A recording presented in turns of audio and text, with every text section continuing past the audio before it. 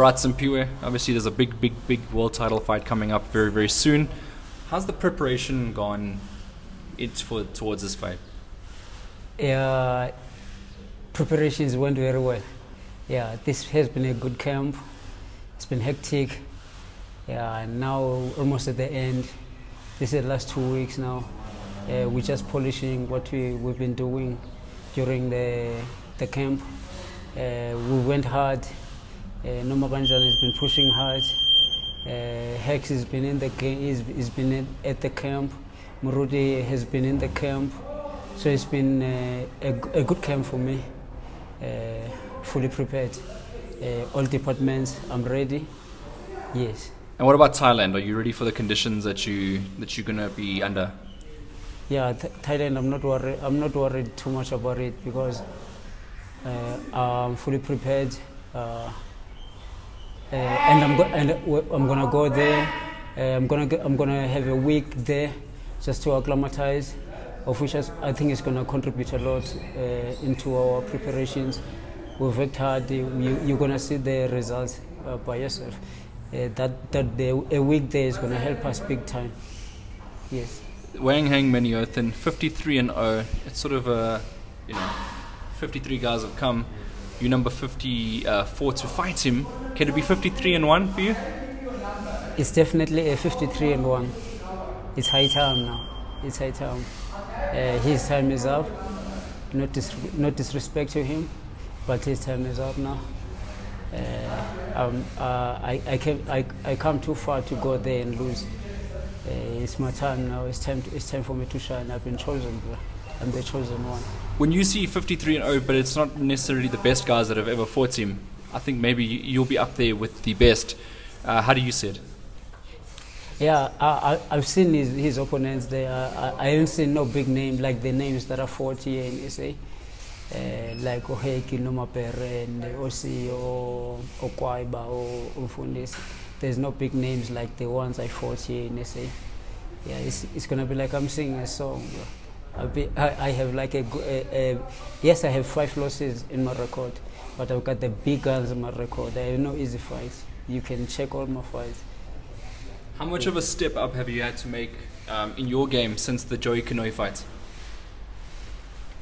No, a, a Joey, a Joey Kanoi fight, uh, uh, it, that fight doesn't count because we didn't see uh, actually what was going to happen into the fight because the fight was, on, was still at the beginning.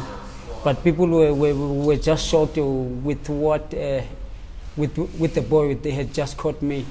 Uh, but that was just the beginning. I, I was still cold. Uh, as I was, start to, I was beginning to warm up in the fight, and then we had a clash of heads, and then the fight was off. Yeah, all in all, we- we've been uh, hotbox uh, work, hard work here at hotbox is a norm. We always work hard. There's no changes too much that we can. The only change that the only thing that we change is, is just the strategy. Otherwise, hard working is is a norm. You you, know it yourself. Yeah, even ever since I came here, I've been working hard in all my fights. There's no fight that I, I went like ah, t- I took this one easy. I've been going hard the whole time. It's just the strategies. It, it depends on the opponent. You know, talking about the hard fights, as you said before, you've never really had easy fights. Uh, fighting outdoors, have you done that before? Come again? Uh, fighting outdoors, have you done that before? No, I've never fight outdoors. It's gonna be the first time for me.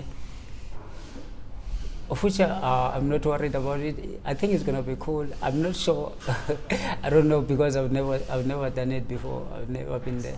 But uh, this week that I'm gonna be there, surely is gonna play a big role Yeah. on my acclimatization in, into according to my condition, into my body.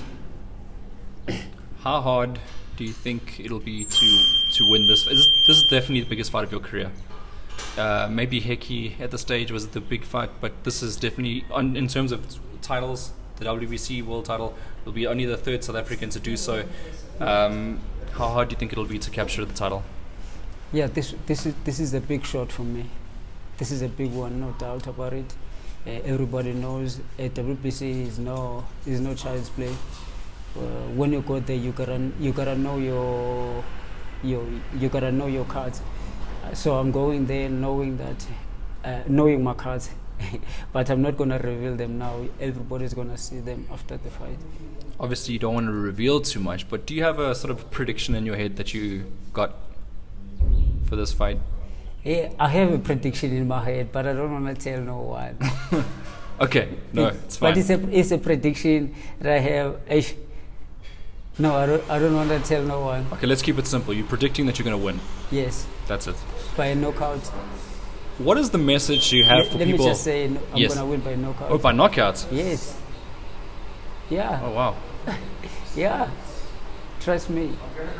And then, lastly, a message for South Africans that will be supporting you uh, while you're in Thailand and hoping that you're going to bring back the good news.